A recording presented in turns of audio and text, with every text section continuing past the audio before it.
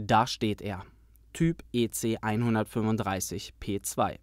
Luftfahrzeugkennzeichnung DHPNE. Rufname Phoenix 97. Ausgestattet mit allem, was die neueste Technik zu bieten hat. Und für rund 10 Millionen Euro ist das so einiges.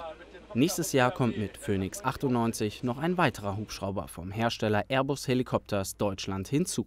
Die Investition war dringend nötig. Die neueste Generation wird die über 35 Jahre alten Vorgänger ablösen.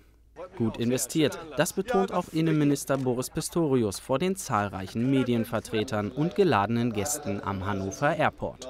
Wir brauchen eine Hubschrauberstaffel, wir brauchen eine, die auch mit den Fluggeräten in vertretbarer Zeit an jedem Standort sein kann. Das sind bei uns 30 Minuten. Dafür braucht es modernes Fluggerät, dafür braucht es entsprechende Ausstattung.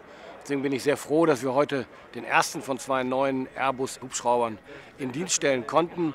Das ist äh, eine gute Entscheidung, eine teure Entscheidung, aber eine, die äh, viel Freude macht und die vor allem die Polizei noch besser in den Stand versetzt, ihre wichtige Arbeit auch in entlegeneren Gebieten wahrnehmen zu können.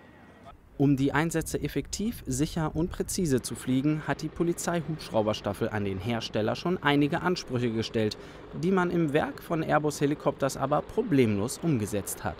Das Wichtigste bei einem Polizeihubschrauber ist, dass er sehr leistungsfähig ist, dass er leise ist, aber insbesondere auch, dass er sehr gut ausgestattet ist. Also das technische Equipment im Hubschrauber macht ihn dann zum Polizeihubschrauber. Pilot Kersten Barlock durfte den neuen die rund 400 Kilometer lange Strecke vom Werk in Donauwörth nach Hannover überführen und ist nicht nur von den Flugeigenschaften begeistert. Bei seiner ersten Landung auf niedersächsischem Boden war Hannover Airport TV exklusiv dabei.